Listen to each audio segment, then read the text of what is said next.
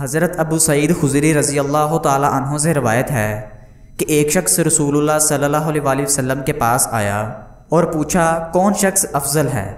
तो आप सल्लल्लाहु अलैहि वसल्लम ने फरमाया, वो शख्स जो अल्लाह की राह में जिहाद करे अपना माल और अपनी जान से। उसने कहा, फिर कौन? तो आप सल्लल्लाहु अलैहि वसल्लम ने फरमाया वो मोमिन जो पहाड़ की किसी चोटी में अल्लाह की इबादत करे और लोगों को अपने शर से बचाए। उम्मुल मोमिनीन हज़रत आयशा रज़ी अल्लाह तहा से रवायत है।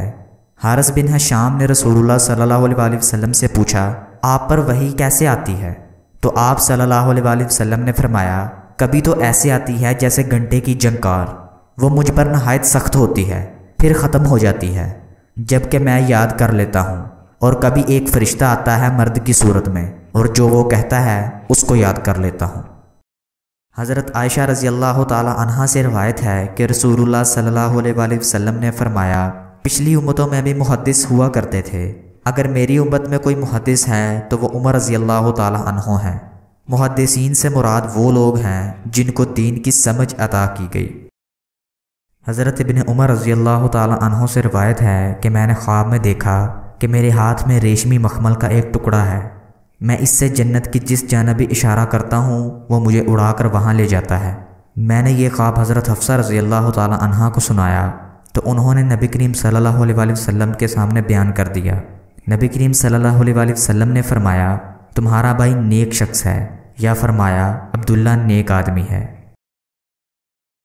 हज़रत अबू हुरारा रज़ी अल्लाह तहों कहते हैं क़्यामत कायम ना होगी जब तक सूरज मगरब से तलू ना हो।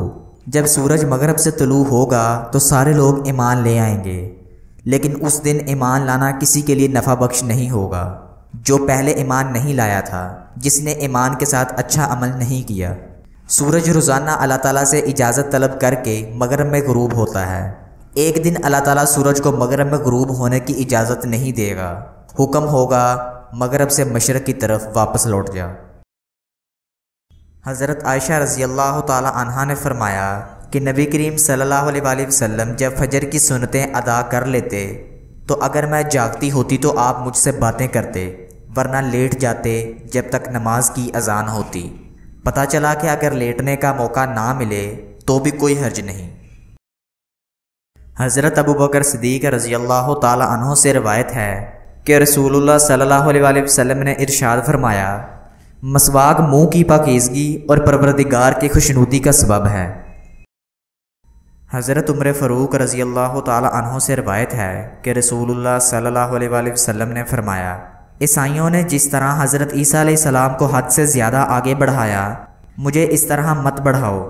मैं तो अल्लाह का बंदा हूँ, लिहाजा तुम मुझे उसका बंदा और पैगंबर ही कहा करो। हज़रत अबू अयूब रज़ी अल्लाह तहों से रवायत है कि एक शख्स रसूलुल्लाह सल्लल्लाहु अलैहि वसल्लम के पास आकर कहने लगा, मुझे कोई ऐसा काम बतलाइए जो मुझे जन्नत के करीब और जहन्नम से दूर कर दे। आप सल्लल्लाहु अलैहि वसल्लम ने फरमाया, वो काम ये है कि तू अल्लाह की इबादत करे और किसी को उसका शरीक ना करे और नमाज़ कायम करे और ज़क़़त दे और नाते को मिला दे।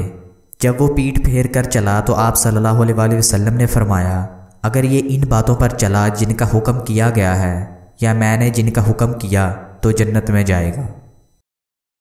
हज़रत अबू हरारा रज़ी अल्लाह तहों से रवायत है कि रसूलुल्लाह सल्लल्लाहु अलैहि वसल्लम ने फरमाया, मत बुरा कहो मेरे असहाब को, मत बुरा कहो मेरे असहाब को। कसम उसकी जिसके हाथ में मेरी जान है, अगर तुम में से कोई अल्लाह की राह में ओहद पहाड़ के बराबर भी सोना खर्च कर दे तो इनके मुकाम या आधे मुकाम के बराबर भी नहीं पहुँच सकता।